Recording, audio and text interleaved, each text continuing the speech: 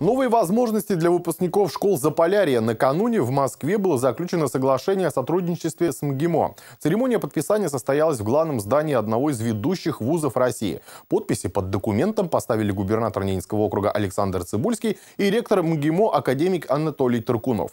В следующем материале все подробности. Рабочий визит главы Заполярья в МГИМО начался с переговоров с ректором учебного заведения. Стороны обсудили формат сотрудничества в рамках соглашения. Как отмечается в документе, основными направлениями совместной работы станут формирование кадрового потенциала региона путем организации целевой подготовки в ВУЗе квалифицированных специалистов и содействие росту научно-исследовательского потенциала Ненецкого округа, а также создание системы выявления, развития и адресной поддержки одаренных детей, взаимодействия в области временного трудоустройства студентов и молодежи по организации работы выездных молодежно-студенческих отрядов различных направлений деятельности. Первое – это дать возможность нашим ребятам, которые достаточно мотивированы, которые хотят учиться, которые к этому готовы, приехать в Москву и поступить э, в Московский государственный институт международных отношений для того, чтобы получить на самом деле одно из лучших, если не лучшее в России образование.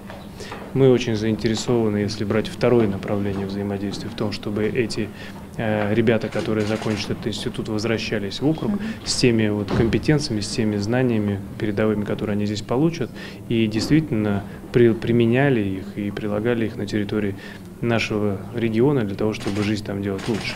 В нашем регионе планируется реализация нескольких крупных инвестиционных проектов, в том числе связанных с привлечением иностранного капитала. И в этом смысле вопросы, связанные с э, энергетической дипломатией, вопросы, связанные с работой с иностранными инвесторами, у нас будут становиться все более и более востребованы. Ну а сразу после подписания соглашения Александр Цибульский в неформальной обстановке пообщался со студентами одного из самых престижных вузов страны. Встреча прошла в формате вопрос-ответ. Говорили о специфике экономики, промышленности и социальной сферы Ненецкого округа и арктической зоны России. Большая часть вопросов касалась экологии и природопользования, внедрения инновационных технологий в различные сферы жизнедеятельности, а также особенностей работы за полярным кругом. Один из студентов поинтересовался, какими качествами должен обладать молодой специалист, решивший переехать работать на крайний север. Точно надо иметь целеустремленность и уверенность, э, уверенность в том, что ты делаешь. Вообще, э, молодежи надо ехать на север для того, чтобы просто понимать, что это важная территория.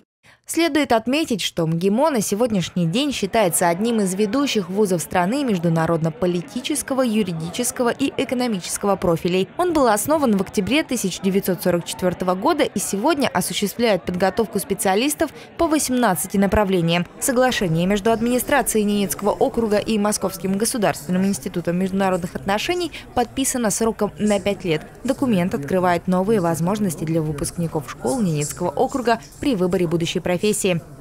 Алина Ваучейская, Дмитрий Лукевич, телеканал «Север», Москва.